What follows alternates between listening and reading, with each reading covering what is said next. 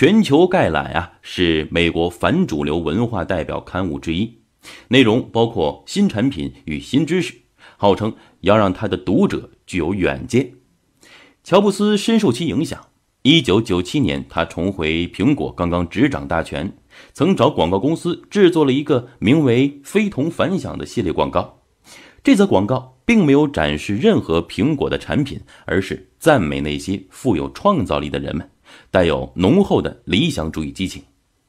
乔布斯年轻时所接受的文化熏陶，就以这样的方式影响到他主持开发的每一个产品。三，当然啊，乔布斯的成功不仅源于个人的追求和探索，也是时代大潮推动的结果。在乔布斯十岁那年，也就是一九六五年，开创英特尔公司的戈登·摩尔提出著名的摩尔定律。预言集成电路的性能将会每年翻一番。到了一九七一年啊，英特尔造出了微处理器，为个人电脑时代的来临奠定了基础。在乔布斯二十岁和沃兹尼亚克一起创办了苹果电脑的那一年，正是各种个人电脑纷纷面世的时候。如果晚几年，可能就不会有他和苹果的辉煌了。一九六零年。乔布斯一家搬到了加州的山景城。十年后，有两件事对乔布斯意义重大。第一呢，这个城市和周围几十英里的地方有了一个新名字——硅谷。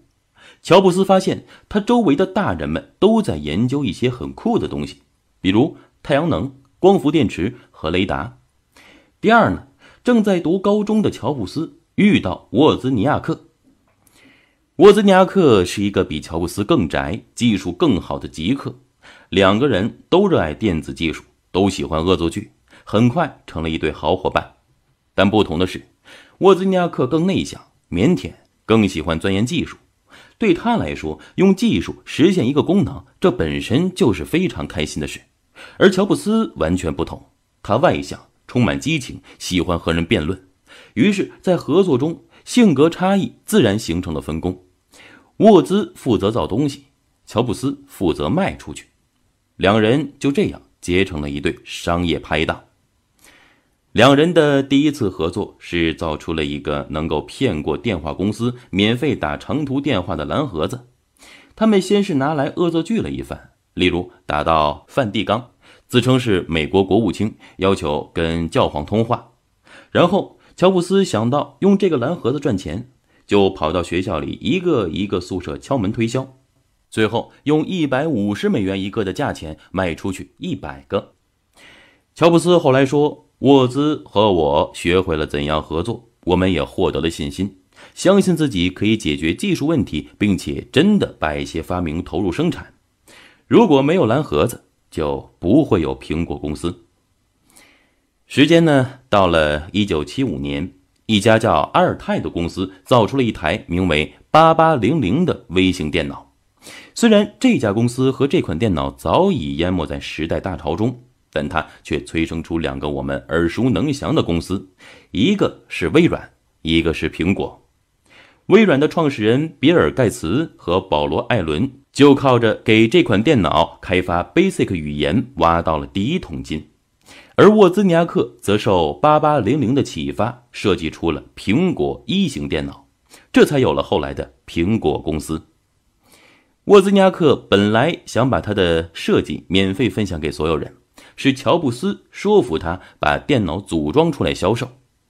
当地一家电器商店的老板很感兴趣，乔布斯就杀上门去向他推销，最后呀拿下一个五十台的大订单。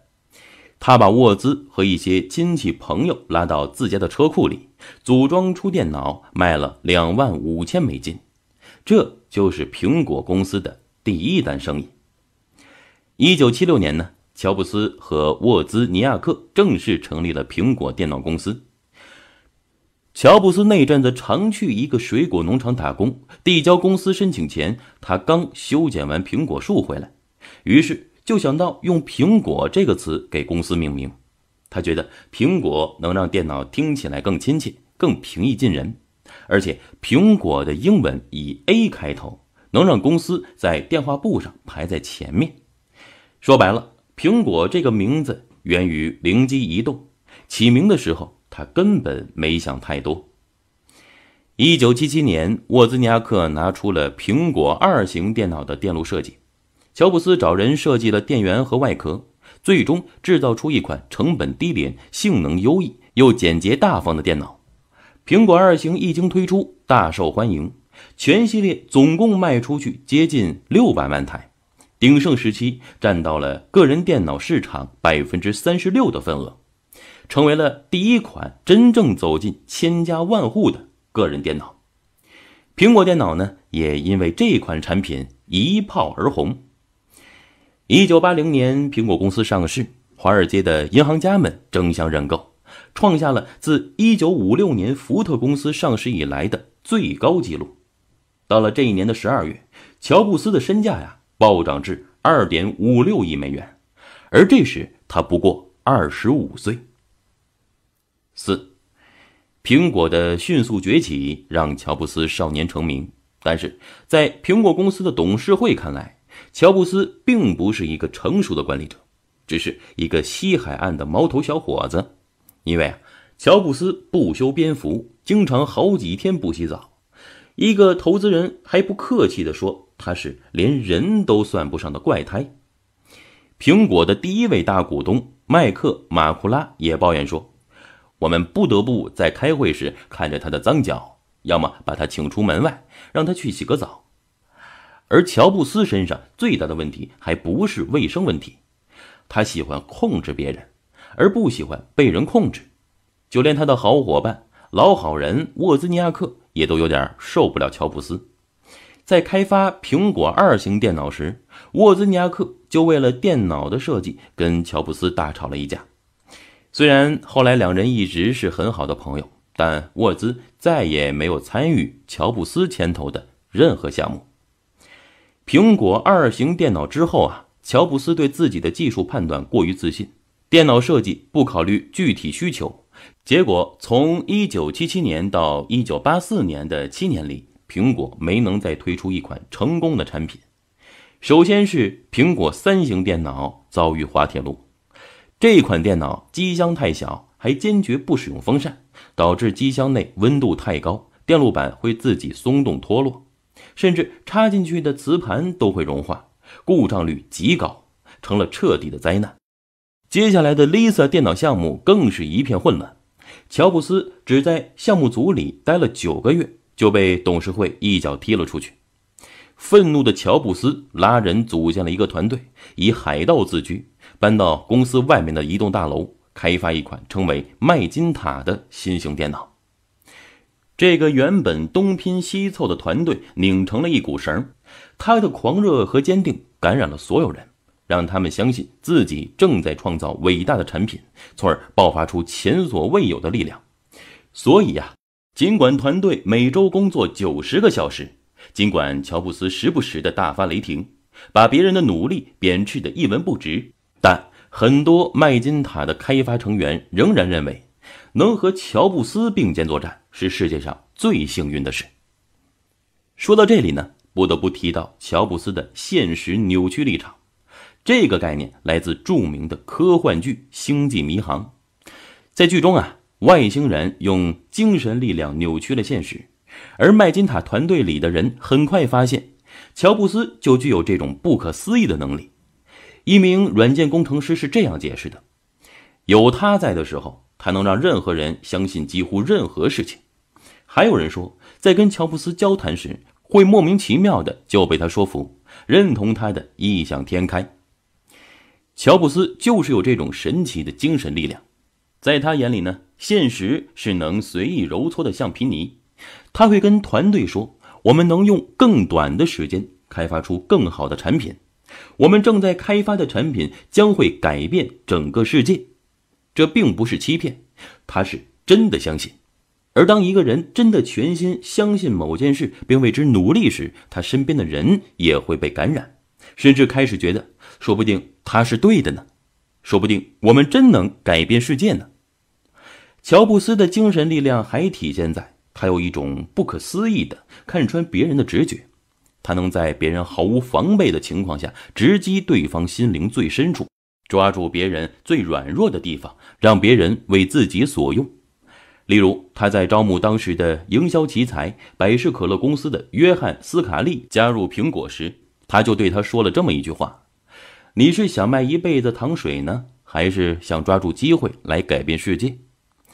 斯卡利就因为这一句话加入了苹果。在回忆这段经历时，他也只能承认，乔布斯能够很好的判断一个人，并知道该说些什么来赢得那个人的心。正因为如此，这个不到五十人的团队，在资源少于 IBM、施乐等竞争对手的条件下，仍然开发出了引领时代的伟大产品。麦金塔电脑是第一款应用图形化操作系统的个人电脑，这比微软的第一代 Windows 系统还要早五年。但是，麦金塔仍然重复了苹果三和 Lisa 的问题：设计与具体需求脱节。为了控制价格，麦金塔的硬件配置较低，但是图形化系统会占用大量内存，这导致系统使用起来很不流畅。而麦金塔没有插槽，用户无法自行升级和扩展，不借助特殊的工具，甚至连机箱都打不开。乔布斯还取消了键盘上的方向键，逼着用户习惯鼠标，习惯图形化的操作界面，更逼着开发者专门为麦金塔开发软件。以至于上市的第二年，可以在这台电脑上运行的软件仍然寥寥无几。结果是麦金塔的销售不如人意，到一九八四年底，每个月只卖出一万台，是预期的十分之一。麦金塔在市场上的失利，让苹果公司董事会对乔布斯失去耐心。